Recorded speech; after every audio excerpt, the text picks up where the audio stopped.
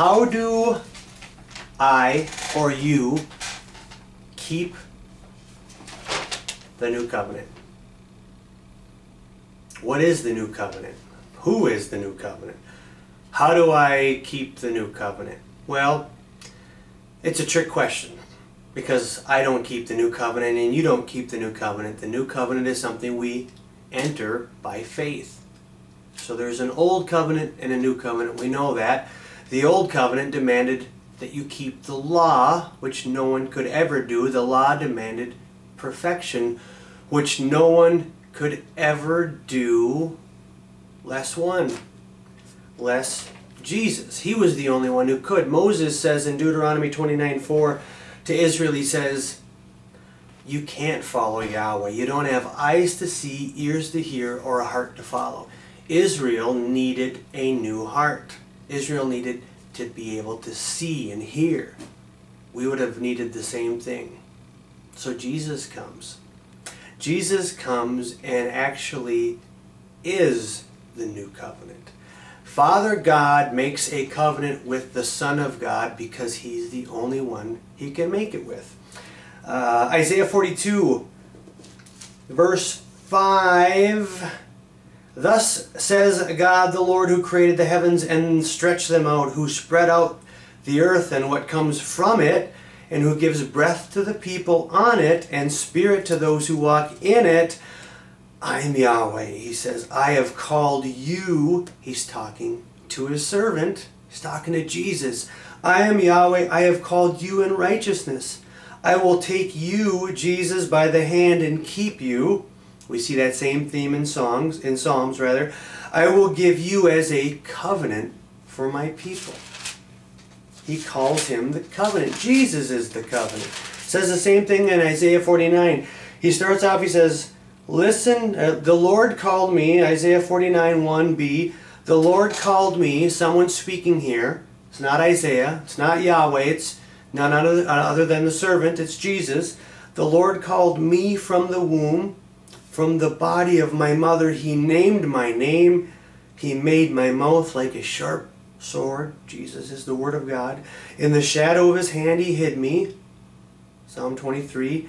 He made me like a polished arrow, and his quiver he hid me away. He said to me, You are my servant Israel, in whom I will be glorified. Jesus is the Israel of God. By the way, that's why all those comparisons between Israel and Jesus. Israel is slated for slaughter in Egypt by Pharaoh. Jesus is slated for slaughter by Herod. Both are delivered by God. Israel gets led out of Egypt, Jesus is taken out of Egypt. Israel is baptized through the Red Sea. Jesus is baptized by his cousin John. Israel goes into the desert for 40 years and fails miserably. Jesus goes into the desert 40 days and passes perfectly. Jesus, all of those things, Israel has 12 tribes, Jesus has 12 apostles, all of those things are showing it's all pointing to the new covenant. It's all pointing to the Israel of God. It's all pointing to Jesus. He goes on in Isaiah 42 verse 8 and he says, In a time of favor I have answered you. In a day of salvation I have helped you. Yahweh talking to Jesus. I will keep you and give you as a covenant to the people to establish the land. Jesus is the covenant.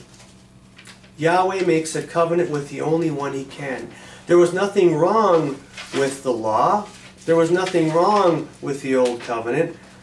The thing that was wrong with it was the recipients, right? They couldn't keep the covenant. They couldn't keep the law. Neither could we. So Jesus comes and keeps it perfectly. So much does he do everything perfectly that he actually fulfills it.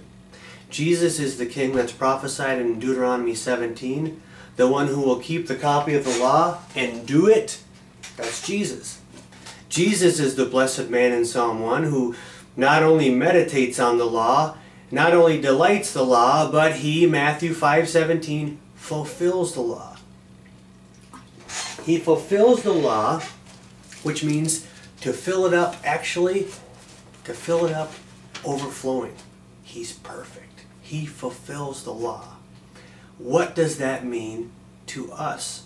Well, if I have entered the new covenant by faith, which is only something God does, right? No one comes to Christ unless the Father draws him in, John 6:44. The Holy Spirit convicts them of sin, righteousness, and judgment, John 16:8. And then Jesus gives them salvation. He opens their eyes. That's why Jesus in the gospel is walking around opening the eyes of the blind, opening the ears of the deaf, raising people from the dead. He's showing that king, that's me. That, that, that blind people, that deaf people, I'm the one who can open their eyes because I'm the perfect one. I'm the begotten Son, I'm the anointed King, I'm the fulfiller of the law. So, what does that mean for us with the law? What does that mean? Are we under the law? Is the law in effect? The law is still in effect, but we're not under the law anymore. Romans 7, verse 5 For while you were living in the flesh, our sinful passions aroused by the law were at work in our members to bear fruit for death. But now, but now we are released from the law, having died to that which held us captive, so that we could serve in a new way of the Spirit and not in the old way of the written code of the law. We now walk in the Spirit. We're not under the law anymore. In fact, listen to what he says in Romans 8. And we'll talk about who the law is for. Romans 8. There is therefore now no condemnation for those who are in Christ Jesus, for the law of the Spirit of life that's the law we're under. We're under the law of Christ, the Spirit of life. The law of the Spirit of life has set you free in Christ Jesus. That's the key. From the law of sin and death. That's the old law. For God has done what the law, weakened by the flesh, could not do. By sending his own Son in the likeness of sinful flesh for sin, he condemns sin in the flesh in order, listen to this now, this is important, in order that the righteous requirement of the law might be fulfilled in us, who walk not according to the flesh, but according to the Spirit. How in the world could the righteous requirement of the law be fulfilled in me? Be fulfilled in you? Paul called the law a ministry of death, and it was because no one could keep it. In Galatians 3:24 he says the law was a schoolmaster to drive us to Christ. But Christ comes, so we're not under the schoolmaster, we're under Christ, we're under the law of Christ, we're under the law of the Spirit. But how could it be fulfilled in us? Simple. Colossians 1:27 because Christ is in us, the hope of glory. The law is fulfilled in us because the fulfiller of the law lives in us. Did you know that if you're in Christ, God looks down and sees you as perfect, as righteous, as holy and blameless, as a law keeper? It's true. Not because of anything you've done, because of the one who's in you, Christ in you, the hope of glory. You're in Christ, which Paul drives at in Ephesians 1, and Christ is in you, which Paul drives at in, in Colossians 1. It's all about being in Christ and having Christ in you. So, what of the law? He didn't come to abolish the law, but to fulfill the law. In fact, the law is still active, just not for you if you're in Christ. Who's the law for? 1 Timothy 1 8. Now we know that the law is good if one uses it lawfully, understanding this that the law is not is not laid down for the just, and we are the just. We have been justified by Christ. But for the lawless and the disobedient, for the ungodly and the sinners, the unholy and the profane. He goes on and on and on. Who's the law for? The laws for the sinner. The laws for those who are not in Christ Jesus. But for those who are in Christ, you died to the law, you're now in Christ. So, does that mean we can just live any old way we want? No, of course not. If you're in Christ, you don't want to live any old way you want because that hard heart that Israel had, That's not for the believer. The believer has a soft heart. The king came, his name is Jesus. He fulfilled the law perfectly. He lives in you and he changes you. And by the way, he wouldn't live in you, if he wouldn't live in you unless you were clean. Here's what he does. This is the new covenant also in Ezekiel 25, 26, and 27. I will, the operative words, I will, the two words, I will, I will sprinkle water on you. That's salvation. And you shall be clean from all your uncleanness, and from all your idols I will cleanse you. And I will give you a new heart, and a new spirit I will put within you. And I will remove your heart of stone from your flesh, and I will give you a heart of flesh.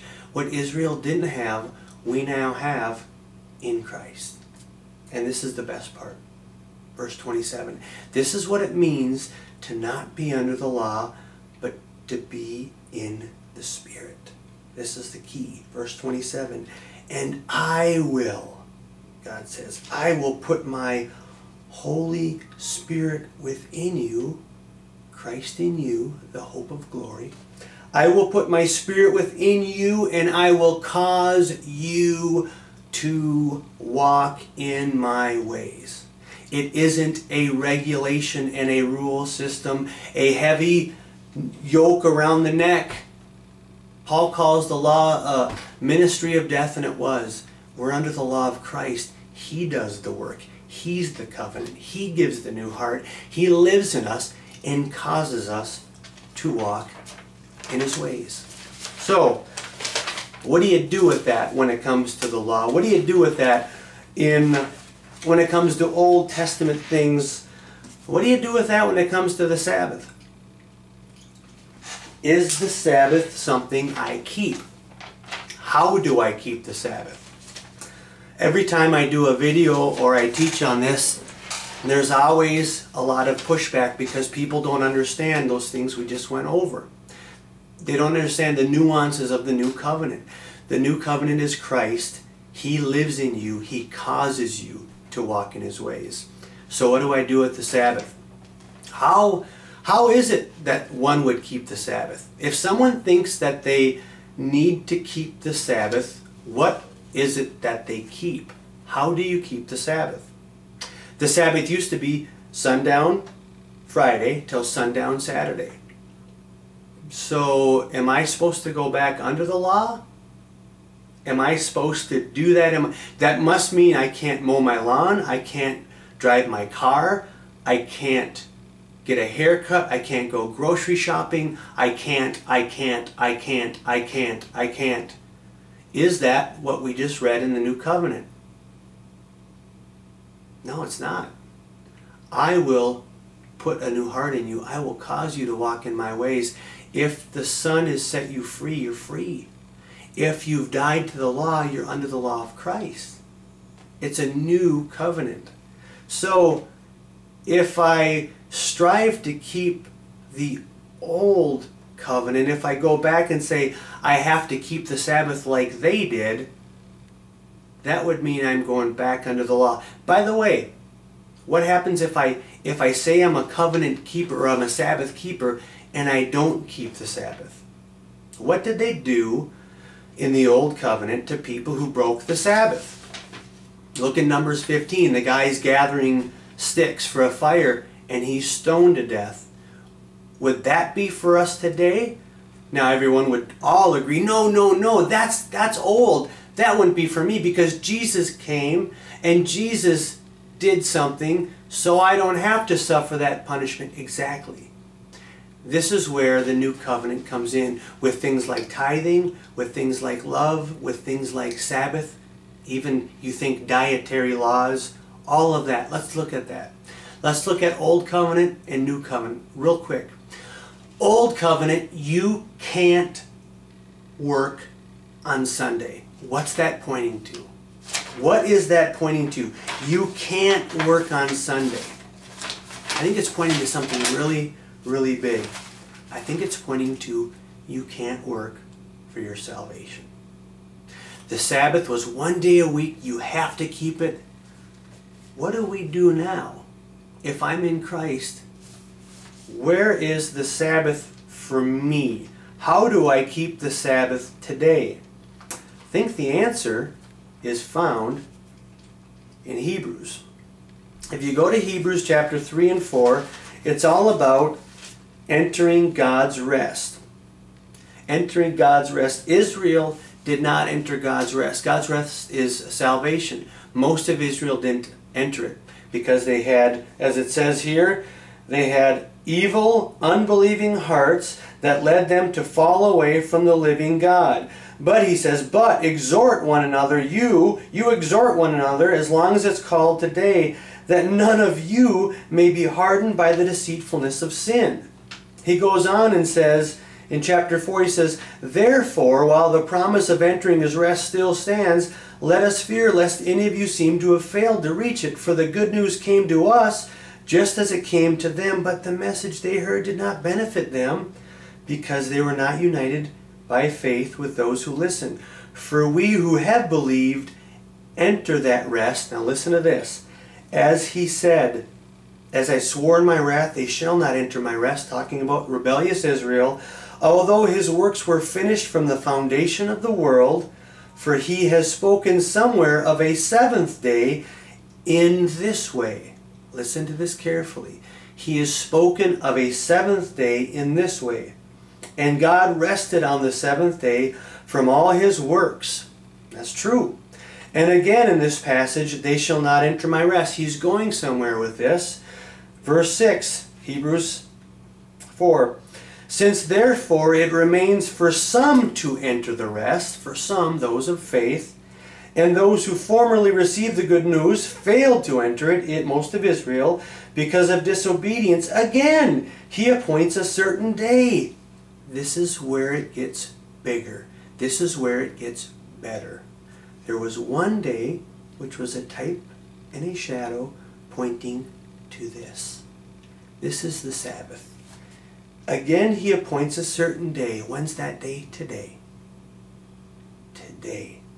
Saying through David so long afterwards, in the words already quoted, he says this repeatedly in these couple of chapters Today, if you hear his voice, do not harden your hearts. For if Joshua had given them rest, God would not have spoken of another day later. So then, there remains a Sabbath rest for the people of God. What's, what is the Sabbath rest? Read the entire chapter 3 and 4. The Sabbath rest is today. When is today? Well, if I was to see you yesterday, I would have said to you, How are you today? And if you were to run into your friend tomorrow, you'd say to them, What's up today? It's today, today. It's always today. Today is the day of salvation.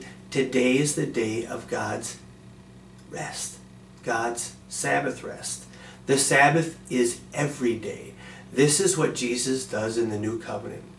Jesus comes and he takes the old types and shadows and he explodes them.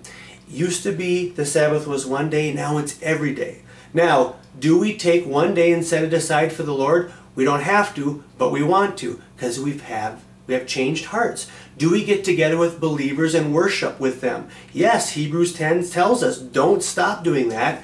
That's the sign of someone who's been changed. They want to get together. By the way, Acts 20 verse 7, it shows us that it's no longer Saturday, it's Sunday. Is that a rule? No. They did it on the Lord's Day when the Lord was resurrected. That's when the first century church worshiped. They changed from the Sabbath to the Lord's Day.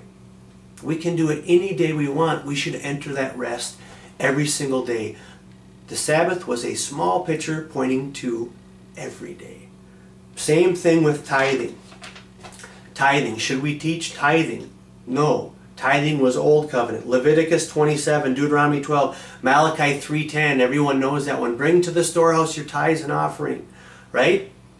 That was 10%, your first tenth what does the new covenant say? Uh, 2 Corinthians 9 7. Let each of you give as he purposes in his heart, not begrudgingly, for God loves a cheerful giver. What's that mean? My heart's been changed. My heart wants to worship with believers. I get to do it every day. My heart wants to give. If 10% was the training wheels, the law was the schoolmaster to drive us to Christ, the law was a tutor. If 10% was the training wheels, the training wheels are kicked off. I now give according to my heart. It doesn't mean I don't give, I give more. Everything's bigger, everything's better, everything's wider, everything's higher, everything's deeper, everything's more intense in the new covenant. Remember Jesus, he said, You have heard it said you shall not murder. I say, if you even think of your brother in a cross manner, if you say Raca, you've committed murder. You've heard it said, don't commit adultery. I say, if you even think of that in your heart, you've committed adultery in your heart. Everything with Christ is bigger, it's better, it's more intense. The punishment is worse, the blessings are better. When's the Sabbath? Every day. How much do you give according to your heart? That's going to be more than 10%, probably, because your heart's so grateful for having salvation. What about love? In, in uh, the Old Testament, in Leviticus, you shall love your neighbor as yourself. What does Jesus say in John 13, 34, 35? This is interesting. He says, A new commandment I give you, that you love one another. And you stop and you say, Jesus, that doesn't sound like a new commandment. He's not done yet. A new commandment I give you, that you love one another as I have loved you oh, all of a sudden you stop and you say, whoa, he died for me. As I have loved you, so you will love one another.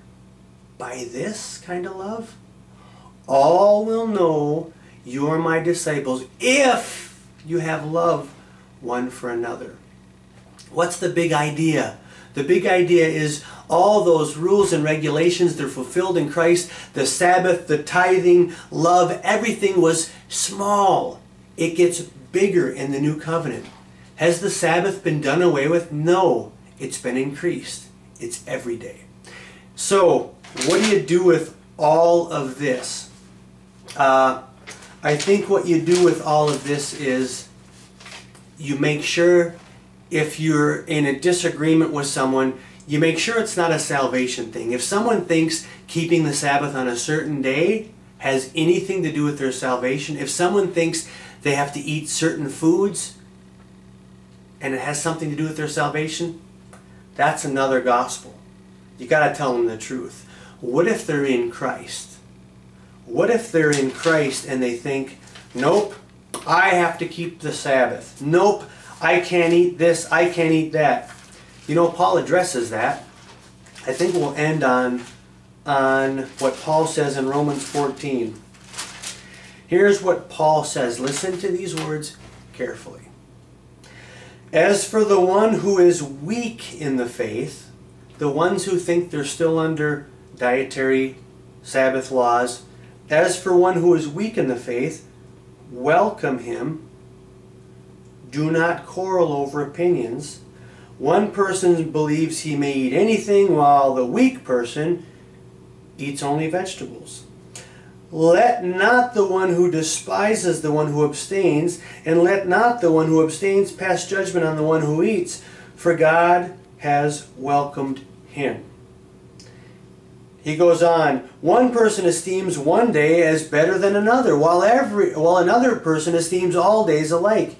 Each one of you should be fully convinced in his own mind let the one who observes the day observe it in honor of the Lord. Let the one who eats eat in honor of the Lord, since he gives thanks to God. You can eat anything as long as you're giving thanks to God. But what does he say? Don't fight over it. So, if someone thinks they have to keep the Sabbath on a certain day, let them. Don't fight over it.